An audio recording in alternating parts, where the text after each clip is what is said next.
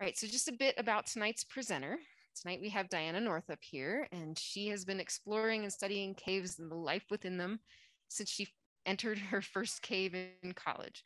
And she saw a pack rat trotting along the cave passages in total darkness. Understanding how life could live deep below the Earth's surface led to her to study who lives in caves, how microbes can dissolve and make rocks in caves, and in the last decade, the impact of the newly emerging fungal disease white nose syndrome in bats in New Mexico and Arizona's caves. She has a PhD in geomicrobiology from the University of New Mexico, and I'm going to let her tell you about some of the some of her work. So Diana, thank you so much for joining us this evening. You can go ahead and click to your first slide and unmute yourself and I'll turn it over to you and monitor the chat for any questions. So I'm going to start with a little bit about how I entered this world because it is a magical world. But when I was 18 years old, after having a really, really boring childhood, I joined the outing club and I went in my first cave. And that first cave was one that had a stream in it that had holes in it that they didn't warn us about. And I fell in over my head and I was like completely enthralled because this was such a new experience and, and so cool. And I went on to do all kinds of caving in, in experiments and, and experiences. And one of the things that happened to me is early on, they like to teach you vertical work. And back in those days, we t- tied Swiss harness seats and we were doing a 140 foot deep pit and about 10 feet down, my seat harness started working its way down and ended up around my knees. And I could not convince anyone that I was in trouble. So I bent my knees back and repelled upside down and got this terrible hatred of pits and caves. So I went on to study vertical, uh, horizontal caves for a while.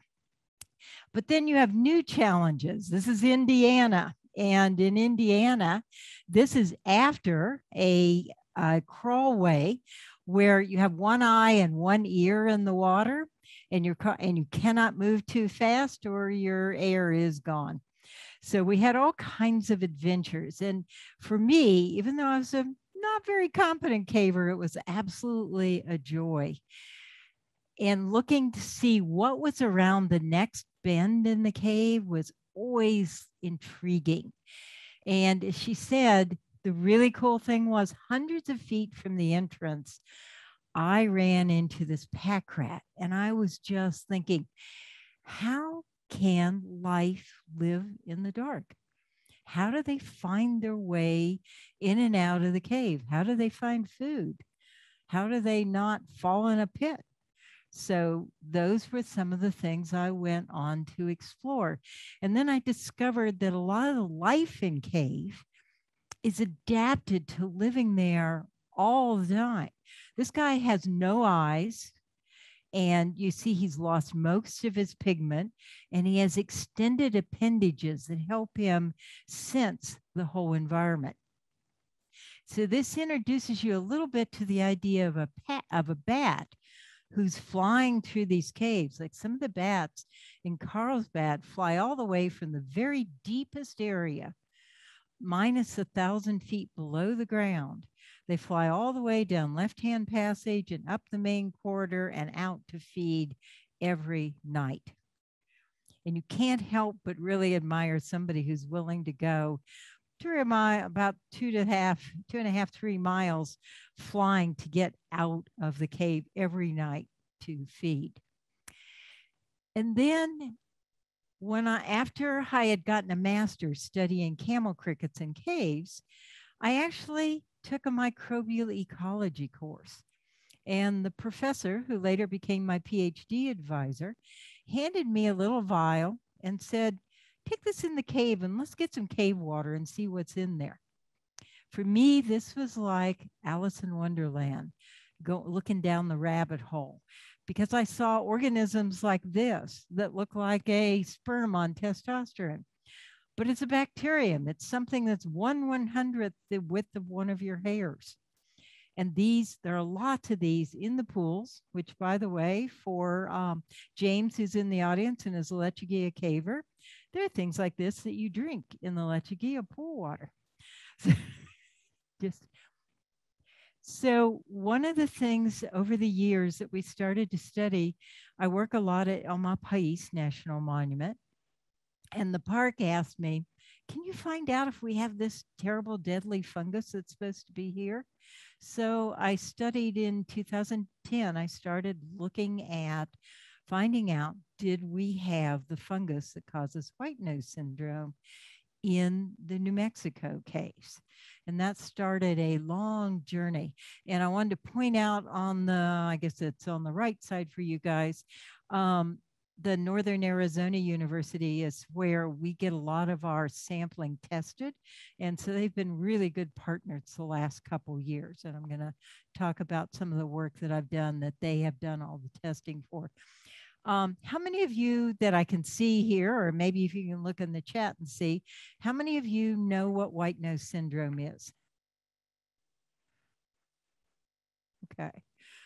So most, but not all. Okay. So what you see on those bats, the white on their um, muzzles, which I don't know if you on Zoom can see the, the cursor or the pointer that I'm doing, that white is all fungus. So imagine if you, instead of a mask, your face was covered with fungus. So in the winter, those bats wake up and want to groom because it's pretty uncomfortable to have a face and wings covered with fungus. And they use up a whole bunch of fat stores every time they wake up. And many of them die from just sheer starvation, but it does other things to their physiology that, that's really bad. So we're going to look at some of the work that we have done um, in New Mexico and Arizona, looking to see if the fungus is here and looking to see what clues can we get from the bats about things that might help them combat this deadly disease. So one of the things that I wanted to tell you about is we thought that this fungus, we thought this disease started in Howe Cavern in New York in the winter of 2006, 2007. This is a brand new paper out this year that puts forth the idea that no, probably really started in Connecticut and there was an early spread to West Virginia and New York um, of the fungus. So this is totally different than what we knew before. So the, the knowledge is advancing. And because this is a fungus that uh, was brought here from Europe, we don't know. There are different theories about did a bat come on a cargo ship? Did uh, cavers or other visitors to caves in Europe bring the fungus to the United States? But that's about when it really started. There's pretty good evidence that um, this, the jump to Washington State was done by a human from Mammoth Cave. So we have the we have the possibility of making the situation worse or better if we're really careful. So we're we've been investigating uh, using different methods how we can avoid having this happen in our western caves. So this is one of the eastern caves that has huge numbers of bats and uh, one of the species had 99% of their bats die from it. So we want to avoid coming into a cave and seeing something that looks like this. So you can see here on this map the spread from wherever westward and up into Canada. You can see the spread. And I want to point out if you look at New Mexico, notice that we now have two red marks in there. And that is because this is what greeted a couple of the people who I work with who did the testing in this cave out on the gypsum plains. This is what greeted them this spring. So if you look and you see the white fuzzy stuff on their muzzles, that's white nose. We are not listed as true white nose until a bat dies or we euthanize one and send it in for testing and we're waiting for them to die of their own, not help them along. Um, so we are listed as white nose suspect indefinitely. Um, the, the fungus Pseudogymnoascus destructans that had really, really high amounts of the spores on them. In fact, we were way more positive for that than Texas has been. So this was big shock. When the people came back and brought me the samples, they were really, really not happy. So this was a tragic spring for all of us doing this work. So here's some stuff about the West that's really important for looking at studies here in New Mexico and Arizona and the West, as opposed to back east. So if you look at this map, notice how red uh, Arizona is and a big part of New Mexico and parts of California. That is where the highest bat diversity is found. And so that's um, something we really want to preserve. We actually have studied 13 different species of bats in Arizona and New Mexico. And I've been to all kinds of meetings where the first thing somebody says to me, but your cold, your caves are all warm and dry, right? No, they're actually cold and 100% humidity. And some of the caves out at El Malpais, one of the coldest gets down to minus two centigrade, which is about 28 degrees Fahrenheit. So they're really cold and great places for the fungus to survive and in some of them even flourish. And um, we don't know where most of the bats hibernate in the West. That's one of the things because in the West, they don't just use a cave and there's a 100,000 there with some exceptions, but they roost, um, they hibernate in talus slopes or in tree roots or places that you might never think to look for them. And so that makes them really hard to find. So this is some um, work that Debbie Buecher, that I work with, a bat biologist from Tucson, did in the caves at El Malpais. So what you're looking at here is, so this is the relative humidity up to 100, and this is the temperature. And the fungus likes to grow, as you can see here, between two and three and up to like 17. And so in this cave, these were all the readings we got over a couple years of taking readings every, I think, half an hour, an hour. And this is a second cave over there, and you'll see all of the readings we got are dead on in the most appropriate area for this fungus to grow. So we decided actually back in 2011 to start trying to grow the bacteria that live on the bats to see do they have natural defenses just like we humans have. So we um, combined with a team from uh, Illinois and the U.S. Department of Agriculture. They have a, a two great specialists in the actinobacteria there and started looking at who lives on bats because one of the things we've discovered in the last decade and a half is that the bacteria and the fungi and the all the different microbes that live on you and in you they are your military they are what keep the bad guys out. And so all these decades and decades we've spent trying to kill everything off on and in our bodies was totally wrong because that's what keeps you alive many times. So we started looking at who lives on the bats. And luckily, I work with a great bat biologist, and she and I, so Debbie Buecher and, and occasionally Ernie Valdez, have been exploring things in Carlsbad, the um, the gypsum plains out on the eastern parts of New Mexico, Fort Stanton Cave, El Malpais National Monument up in this area some, and then who's heard of Grand Canyon Parashant National Monument? Only a couple. Okay. So it's a million acres. It's a relatively new national monument. And boy, trying to find the bats there has been a real challenge. But we, luckily, they put out stock tanks and they use them to get water. And that's one of the ways that we find the bats. And I've done a little bit down in the southeast Arizona parks there too. So we basically swab these bats. You can see basically Debbie's holding the bat so it doesn't get injured. And I am swabbing the bat.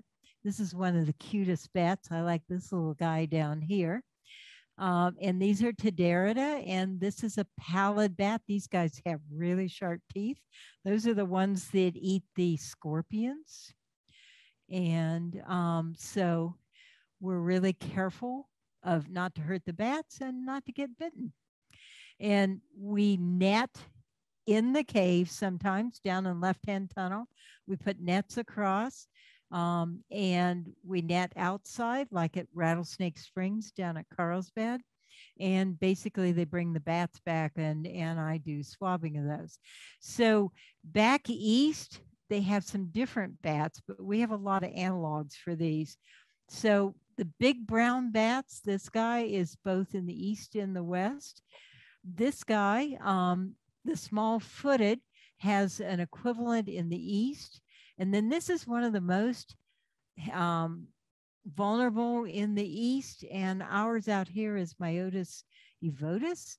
And then this is one of the ones I really like is the Myotis velifer, and it's a cave myotis. And we have a lot of those throughout, as well as the western pipistrelle. But these two are of particular interest because this is the Townsend's big-eared bat and the silver-haired bat. And what's different about them is these two bats get the fungus on them back east, or their relative does, but they don't get the disease. So, why can they survive this? And the others often die in really large numbers. So, um, basically, we swab the whole bat, and this is turned out to be really interesting. We're swabbing the whole bat because we want to find out who lives on it. And so I need enough DNA.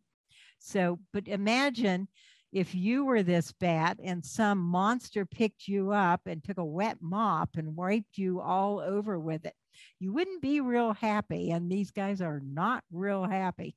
So I'm very careful not to get my fingers near that mouth. And Debbie sometimes puts a finger there so that they can chew on her because she wears a thicker glove underneath it. So, and keeps me from getting chewed on. Um, and we're looking for fungi and bacteria.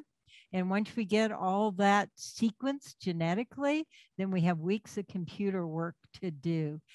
But one of the things we found this year when we did get real positives, we started comparing that to the work of a grad student in Northern Arizona and the work the National Wildlife Health Center does. And it turns out when you swab the whole bat, you get five times as many positives as when you only swab a forearm and a muzzle, which was something completely new that we just discovered about two months ago. So I had a grad student, Ara Winter, who took all those amazing hundreds of thousands of genetic sequences and analyzed them and discovered some really important differences. So, what a bat has that lives on it in the cave is very different than what a bat will have uh, if you swab it on the surface. So, those two are very different in who lives on them. So, just like you, when you go to your friend's house, you pick up a whole bunch of new microbes that start that uh, can be found on you. And that's what happens with bats. And Ara wrote this up. If, if you're really interested in this kind of thing, his article is freely available. And um, basically there's some other things like ecoregion that determine how it's different. So then we started also, whenever we would do it, besides genetic sequencing, we started growing everything that lived on the bat. And these are one of my favorite. These are what are called actinobacteria. Who's heard of an actinobacteria? Oh, yay, several of you. Cool. So this is where we get a lot of our natural antibiotics. Two thirds of our naturally, the ones come out of nature, come from the actinobacteria. So they're a great source. And as you know, many of the antibiotics we have, people are becoming resistant to them. And so this is a way that we can find new ones. Um, and many of them belong to the genus Streptomyces, which we get tons of on the on the um, bats. So here you can see that swabbing, and this is one of the plates. We did three different kinds of media and really, and we put something in to, so we wouldn't get fungus growing. And then I had somebody who, for years, basically would then take a plate that looked like that, or this, or this. So one of these three on the left, and would basically subculture it to isolate one colony and then grow that up, extract the DNA, and sequence it. And out of that, she got 3,300 different bacteria. Um, and we were targeting actinobacteria. So basically, not surprisingly, this huge number of ones are in the Streptomyces genus. And the other one that's really interesting is the Rhodococcus. This is one that's been shown to kill the fungus on bats. They've actually done an experiment where they put it open petri dishes because these volatilize the compounds that kill the fungal um, the pseudogymnoascus destructans. And so these are two really important natural defenses. So this is how we did the experiment. So the white in the center is, is, a, is a cave bacteria that's grown up. And then we pour a new dinner on top for the fungi, different, different ingredients, just like vegetarian versus carnivore, you might think. And then we put a whole lawn of this yellow of the fungus, the deadly fungus, Pseudogymnoascus. And then we look to see, and this cleared area means that cave bacteria is killing off the P destructans. And so we looked for ones that do that and found that we had some. So the really tall ones, this one and this one, which are streptomyces and, and then the rhodococcus is really good. Those guys can clear the whole plate of the P destructans. And that's what we were trying to find. In working with the USDA guy, we found that um, basically seven of them were new species of streptomyces that had never been seen before. And, and Paris Ham has described two of those species. Um, and, and so they're now freely available in repositories so people can get them and use them for other development of things. And Kenneth, my husband here, um, did the photos like this. He's really, really good at the photos. And so we had, um, for the cover of this uh, journal, they had a contest. And two of the papers, and we were one of them, had a contest to see how much support there was for either photo. And so, um, being in the biology department, I mailed them and I mailed all the cavers and I said, go vote. And we won. So we got to be on the cover. So then the other thing we did, and I love the way my grad student Jason Kimball shows this, he basically said it's sort of like if you took a whole bunch of books, ran them through a shredder, and then had to put them back together. So when we try to sequence a whole genome, that's essentially what you're doing. You're left with this whole pile of genes and trying to figure out who goes with whom and put it into a meaningful genome that will tell you something. And what we were looking for is what kind of secondary metabolites, what kind of antibiotic genes are on these microbes that live on the bats. And these are some of the ones that we found in those genomes that we did, the 20 ones. And the thing that's most stunning about it, if you look at this, on this side, you have the different bats that we did. And then along the bottom, you have how similar they are to known secondary compounds, known, known antibiotics or antifungals. And most of them are less than 85% similar to any known compound that we humans have. And especially this guy down here, this bat, the genomes that came off this bat, those compounds are really, really new. They are all not similar to any known compound. So this is a really great place to explore for things that'll help humans combat many of these diseases that we're getting and dealing with now. And El Malpais wins the race for who had the most um, sequences that were a antibiotic, a novel one.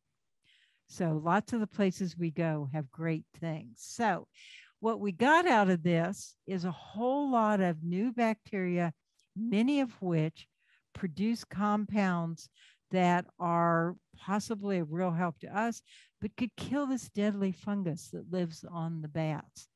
And um, let's see, there's, I should actually look at my computer instead. It's really hard to read upside sideways. Um, so we have the right conditions for white nose here. It's only a matter of time, and we've seen the first invasion this spring. But we have bats that have some really great natural defenses, and that may be a help. And that's what we're hoping will come through, and, and what we've seen with several of these. So, the other thing we're looking at is there is a move afoot to use UVC to kill off the fungus because it's very fragile to UVC. It doesn't have the enzyme it needs to combat this.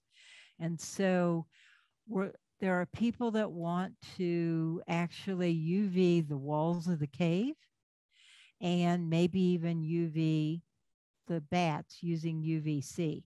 So, what do you know about UVC? Why would this possibly be dangerous for other reasons, though? Cataracts, okay? Would it cause that in the bats? What about who else lives in the cave?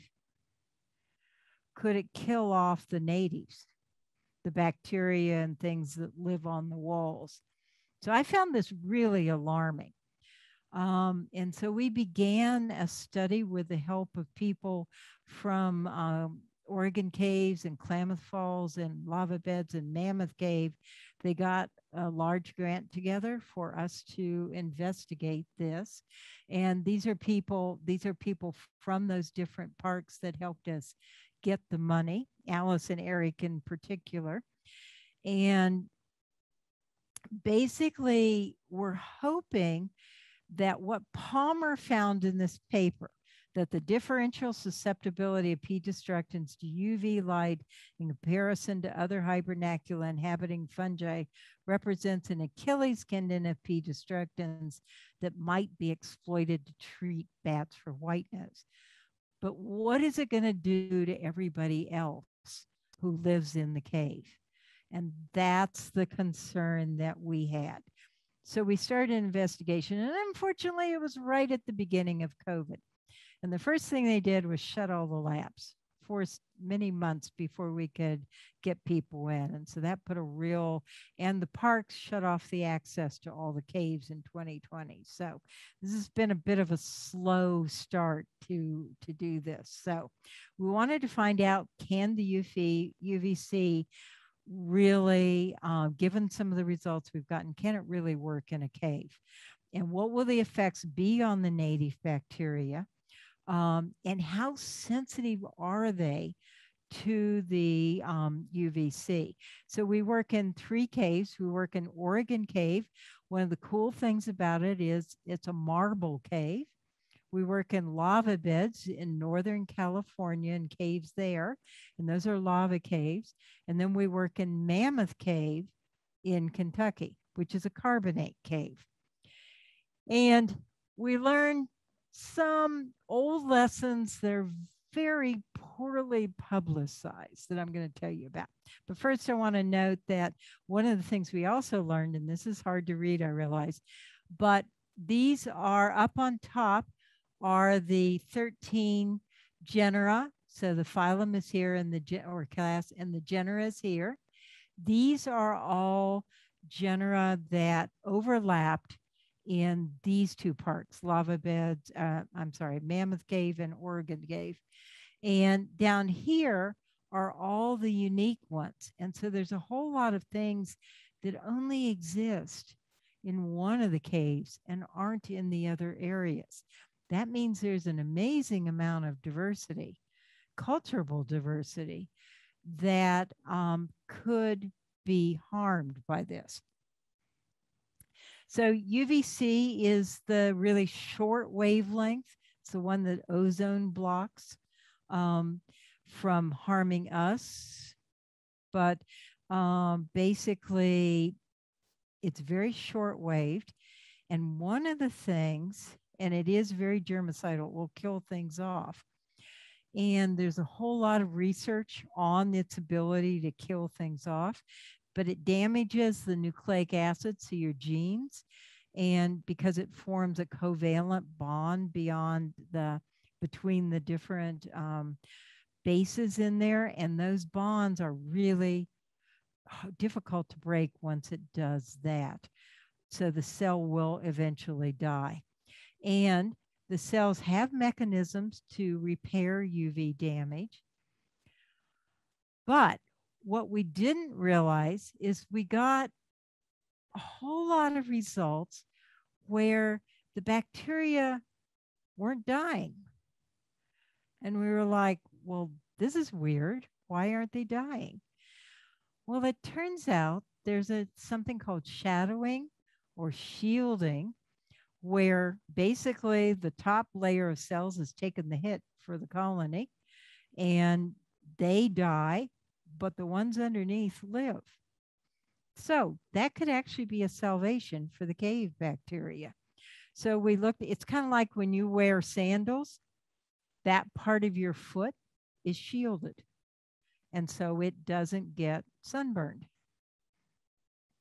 So think of it as a, a protective shield that these bacteria have. And it basically, how much UV you use is really important to see whether um, it's going, how deeply it's going to kill within the cells that are on the wall. And so the thing about this, we thought it meant they were resistant. It doesn't. It just means they've got, you know, a thick enough layer to prevent it. So we redid our methods and we found out that in caves, there are organisms that are very sensitive so that's what you're seeing with this red line. They die off with the weakest of what we hit them with. Whereas this guy, you know, kept going and then till he finally crashed. And so um, it turns out in the caves we studied so far, and we've done tests on about a hundred of our cultures so far, is there are some very sensitive there are some sensitive, but then there's a bunch of very resistant. So some are going to survive, and it's a question of is it acceptable if you kill off some of the native bacteria, but let the others live to basically help the bats? But that also means we don't really know if this is going to kill things on the bats if if they got all that fur, you can't go deep enough, and those spores are still going to be there. So that was a study that that um, we did with the the this partnership with with several national parks, which we really appreciate the funding that they did.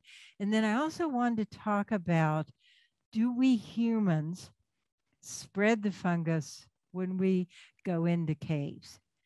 And there's been a lot of thought that no, you know, that's not how it's spreading. The bats are the main culprit. Well, yes, they are the main culprit, but there, there are some studies like this one that show that it is possible to spread the fungus with your gear or your clothing So we try to be really careful and really wash our gear and the clothing. This has a lot of really big problems associated with it.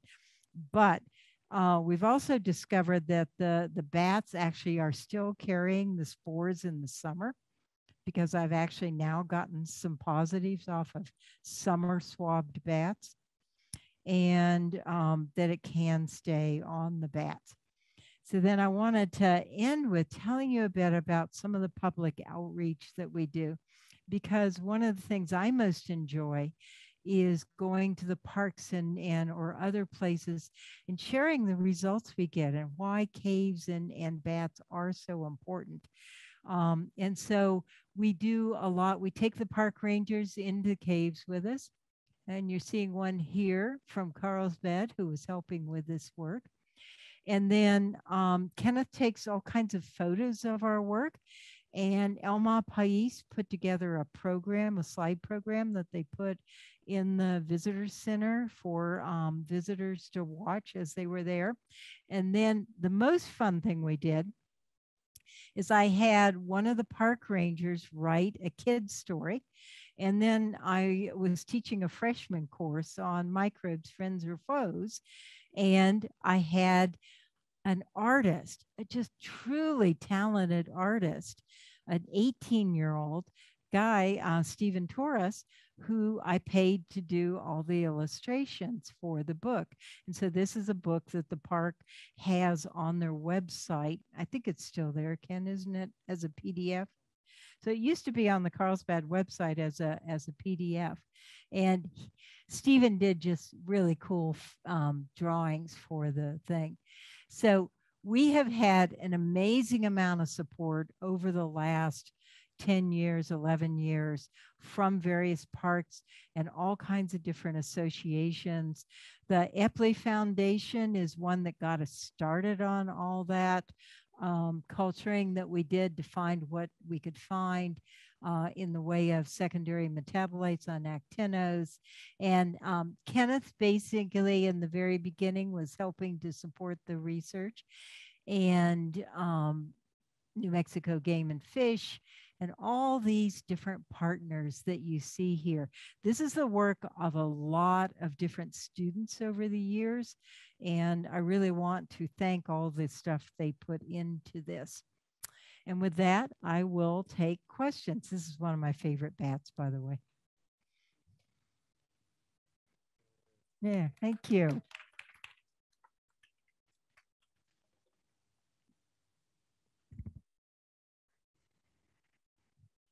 What's next? Um, we have to sort out whether they're really going to use things like this. They're also trying, there are some people trying to develop a vaccine. My personal feeling is it's just going to spread, spread through the whole US. I do not think there is a good way to stop this. And the bats are going to have to develop some resistance which I realize is a really pessimistic way to look at it. And I probably would be really roundly condemned by several colleagues, but um, this fungus is really good at spreading, and bats are a great vector for spreading it. Um, and you know, you got 100,000 bats in a cave.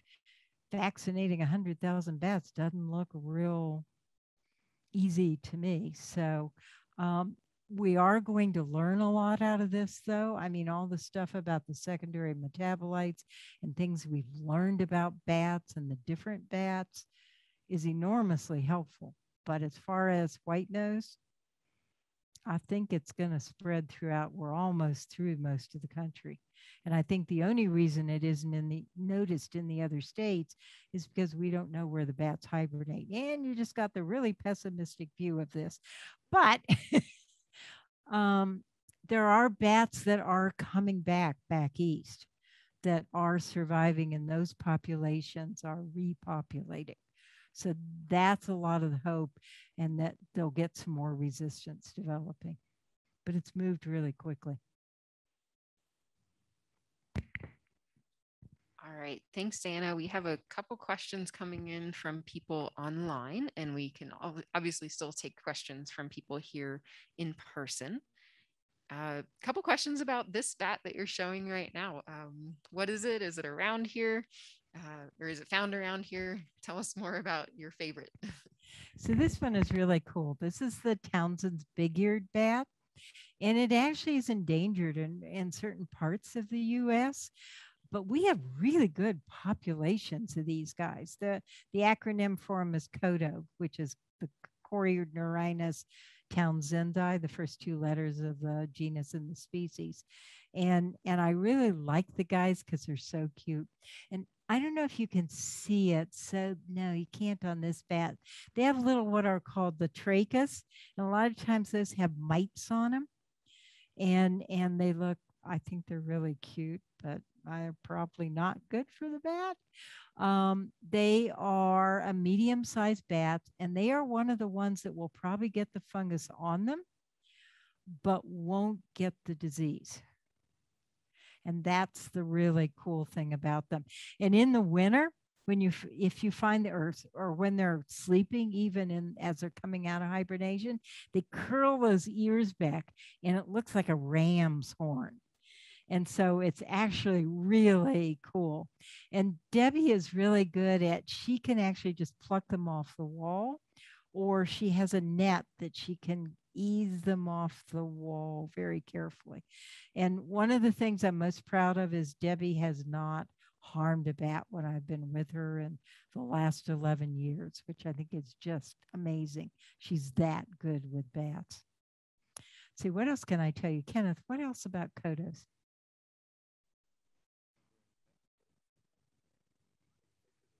Yeah, they're all over New Mexico. They aren't, I didn't show you a picture of the um, hoary bat.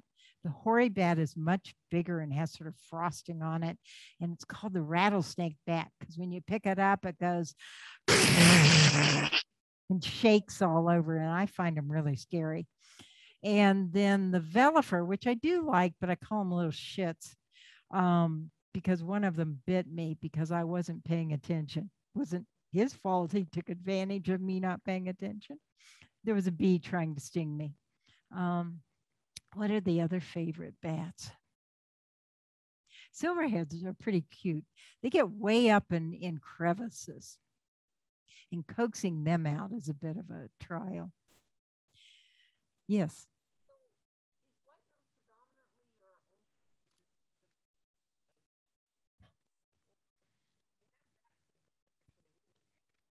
So it's it's a disease. So Sue is asking, is white nose mainly a disease of bats that uh, live only live in caves? And I know that so it's a disease of bats that hibernate. So the ones that hibernate, like in the talus slopes and stuff, they could get they could get the disease too. Um, the bats are a little more obvious. And the bats that don't hibernate, like the Brazilian free-tail bat, are not likely to die from white nose. They are getting the fungus on them, we're finding, and they're probably vectors for spreading it, but they're probably not going to die from it.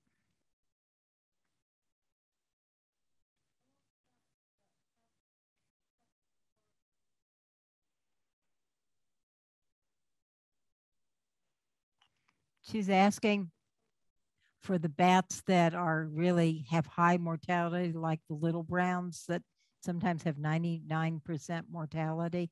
Uh, has everything been lost? And no, there are. In fact, they're finding in the Northeast some colonies that that have, you know, they're not huge, but there's some recovery, and they are finding pockets of of those, and so they appear to be slowly, slowly recovering a little bit. We haven't lost them all. And a few may have been resistant.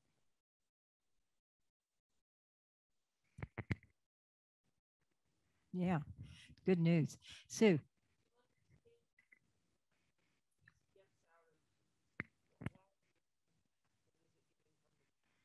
So why is the fungus on the bats? So um, what is it getting from the bat? So they are essentially getting, um, they degrade the keratin that's in the bat wings, for instance. And so they are getting some nutrition from the bats and a nice warm place to live. Not that they like the warmth. This is a cold loving fungus. So it likes to, as I mentioned earlier, live between three and 17 degrees centigrade. Okay, we might have a couple coming in um, online. Uh, centigrade or Fahrenheit? The 3 to 17 degrees, it must be centigrade.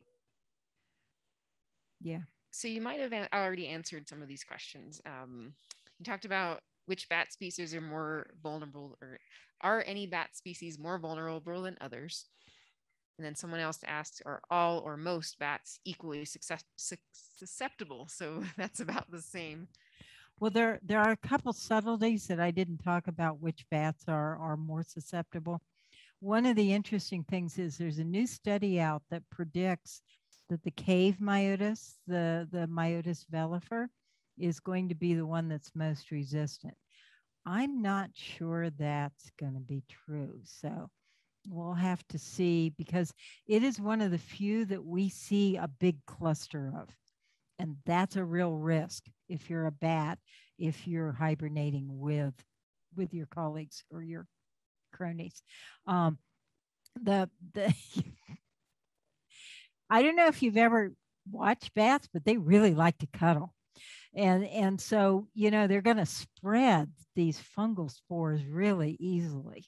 Um, but they but the Townsend's bats, we usually see them about a meter apart. Just the ceiling's littered with them, but they're a good half meter or meter apart. And so some of those bats really they like it cold and breezy, by the way, whereas others like the air to be still. So we're learning a lot about bats and and what where they like to hibernate, which is actually pretty cool. So those are, and the other one that we have that I am really concerned about is the big brown bat. Um, because it has a 40% mortality back east, and we have big browns. And Debbie is a rehabilitator of bats. And she um, basically currently has a pallid bat. And I think she's on. Maybe she can type in the chat. At, do you have a big brown Archie? Hopefully, she'll put it in the chat. She did have Archie the last time she gave a presentation for us. Okay.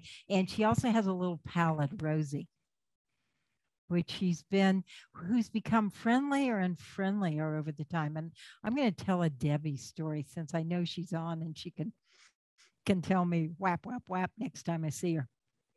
But my favorite story about Debbie is sitting at dinner with her at El Pais one night and she's got her cheesecake in front of her, eating it. And on one side, she's got, let's see, no, I'm sorry, the cheesecake's on one side, her glass of white wine's on the other. And in the center is a plate of mealy worms, of mealy or mealworms. And she's gutting them because she has this bat who can't eat his own. And so she guts and gives him the gut. And I posted this on Facebook, and all my friends went, Wah! and all of Debbie's went, very cool. So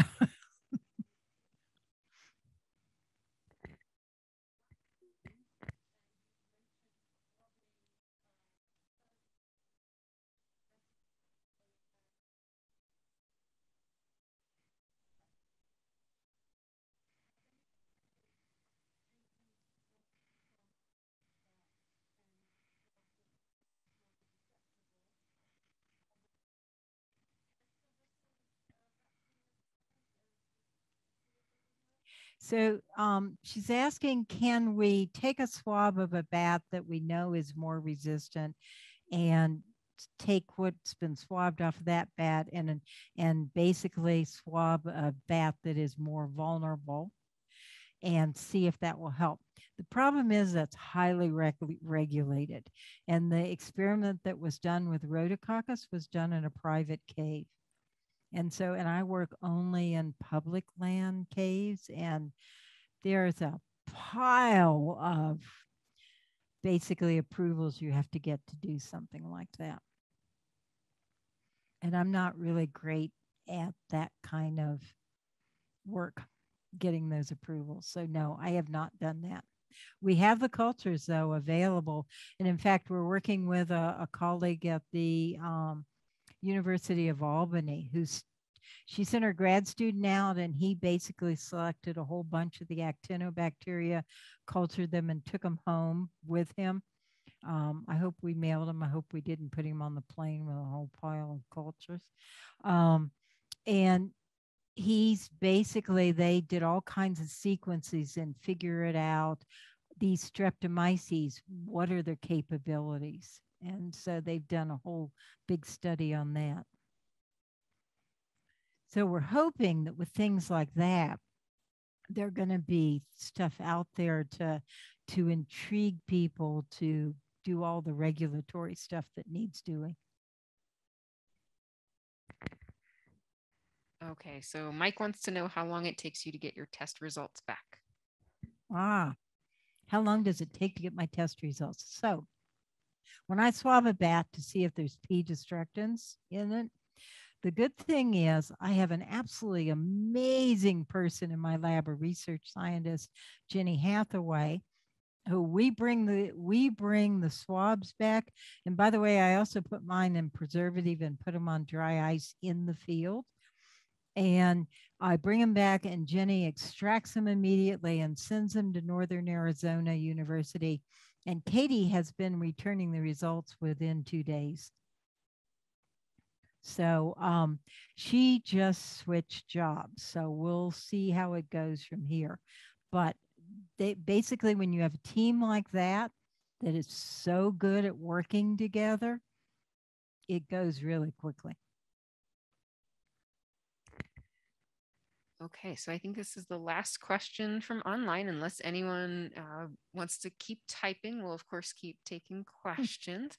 um, so, Diana, there was one chart where you showed uh, some unique species found in Oregon versus Kentucky caves. Hmm. And mm. uh, were there bacteria in those lists that indicate why? Uh, was it the location? And what can you do with that information?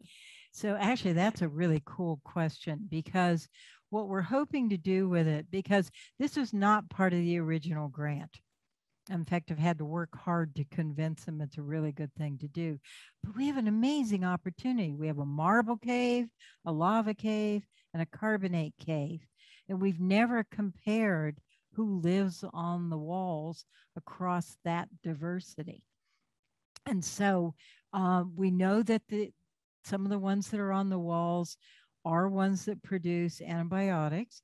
We know some have genes to um, basically utilize the iron and manganese that's in the walls of the caves for their energy. So they are what we call rock eaters. And oh, I didn't put this in. Let me see if I can think what else they can do.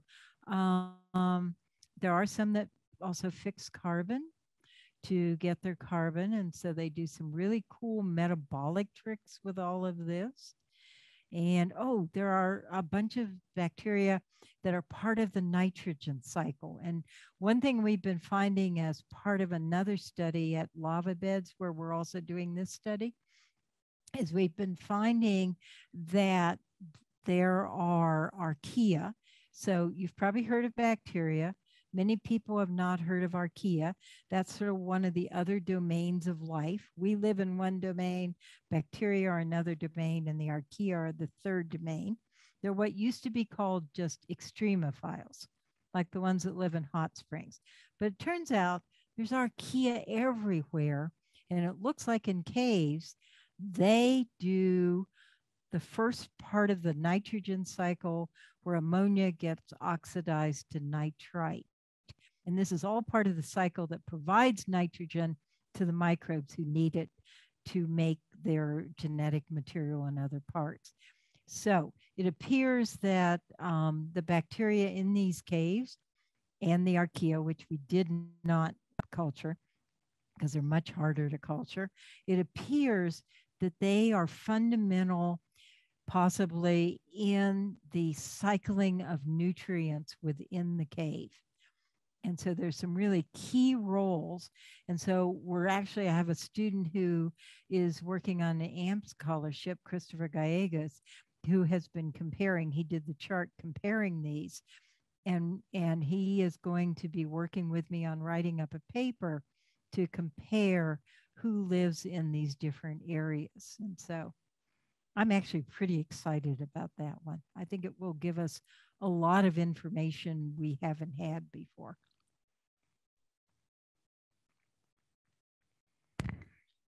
All right, thank you.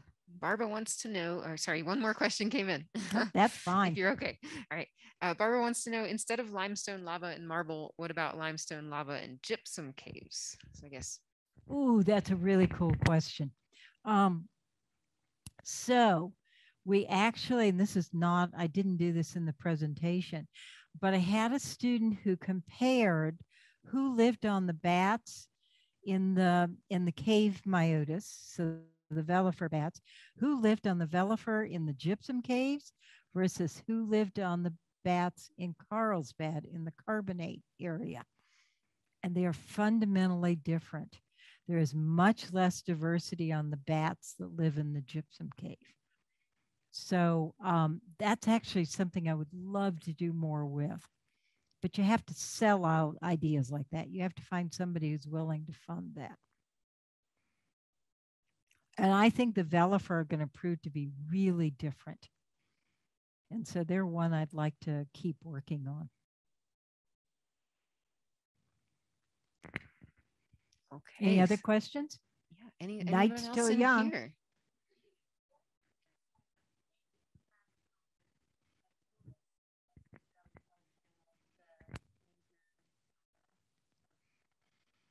So she's asking if with the major die-offs of bats, what's the impact on ecosystems?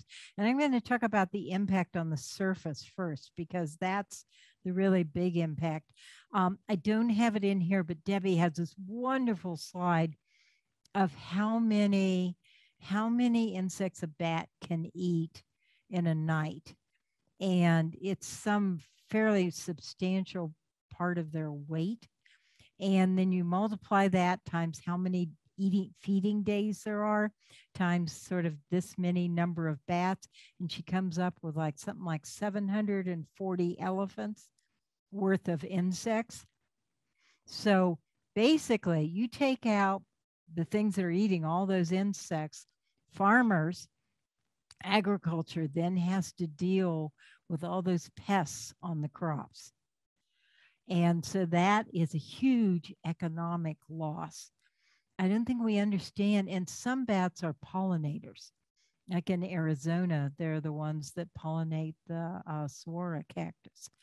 And so taking them out of that ecosystem is a really big thing. And then I've also studied mites that live in bat guano in Bat Cave.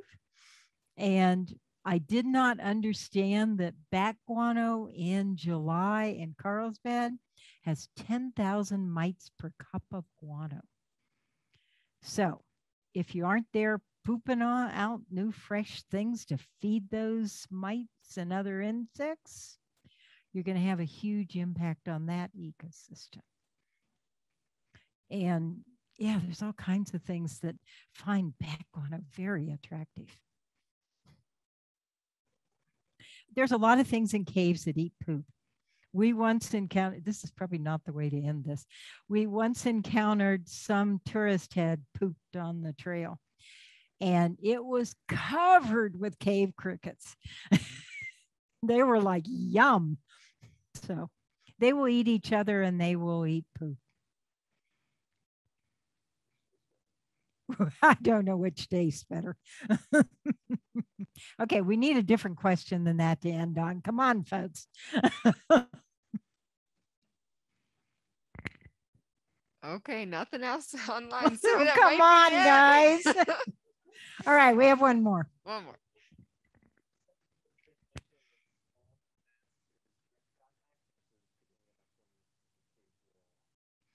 Ah, what percentage of transmission of the fungus is direct contact with another bat versus picking it up on the wall? So I had a student who studied where bats get the microbes on them. And we didn't have P. destructans by then, so she just studied others. So I'm using this as sort of a bit of a thing. And she discovered they get a lot of their bacteria from the wall. Now, you can recover P. destructans from the wall. Uh, it's not as good usually, I think, as the guano, but we don't know a lot about that.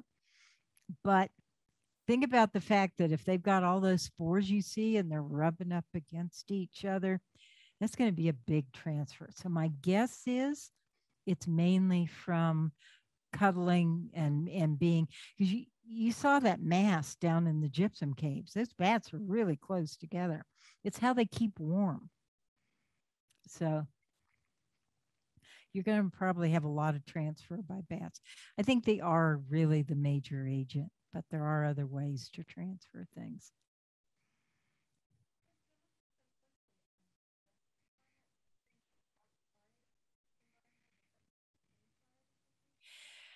I have not studied that, but I think I've seen some reports that, oh, she wanted to know if climate change has affected the climate in the caves. So, in general, caves are thought to be the mean annual surface temperature. That is not true at El Malpais because they're cold sinks. But if you're going to increase the mean annual surface temperature, that is going to impact the temperature in the caves.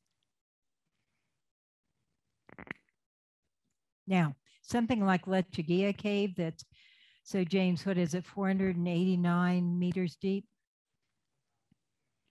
So something that's that deep, it's going to take a long time to impact that.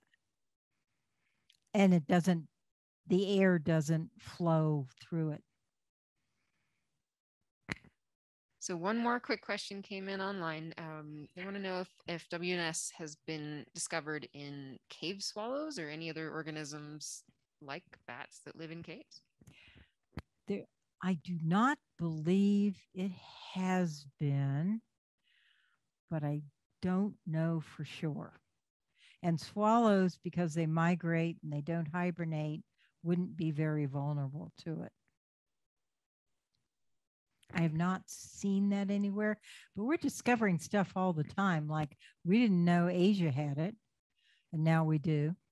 And they've they've been looking at the genetics of what you know ours came from Europe is what the genetics tell us, but they also looked at have any of the Asian ones come here and did what the Washington State one, and no, it is related to the European one.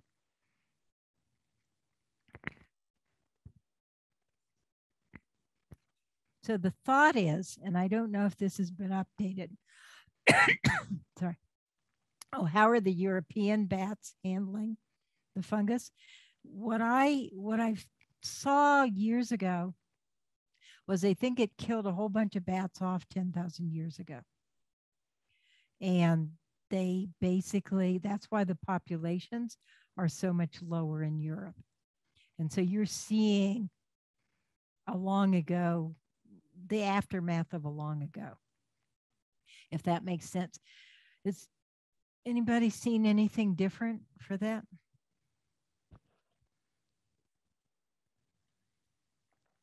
So I think that's what we believe. But, you know, there's new stuff all the time, and our whole view of it changes. So that's the best I can give you right now. All right. Well, your best was was amazing. That was a wonderful presentation. Thank you so much, Diana. And we're having so many people write in on the chat. Thank you, thank you, and and great job. And um, I'm sure Debbie Debbie appreciated the story. um, Is that really what she, she said? Well, that that's what I read. no, Diana, D- Debbie did say great job. um, okay, so so yes, those are all the questions, and and thank you, thank you, Diana, for sharing your expertise with us tonight. Uh, for those who joined us um, uh, in person and on Zoom, thank you. And please remember to look out. We're going to uh, email a quick survey in the next day or so. And if uh, if you're interested in attending other PEEC programs, we have some great ones coming up, including uh, our regular Friday night presentation show, our uh, planetarium show. Uh, this Friday is about constellations in the skies in October and uh, and then our annual picnic our, our member appreciation event is coming up on sunday the 16th so um, we hope that uh, we see you again and again thanks everyone who joined us both in person and on zoom and we'll see you again uh, check out our website for more things coming up. Have a good night everyone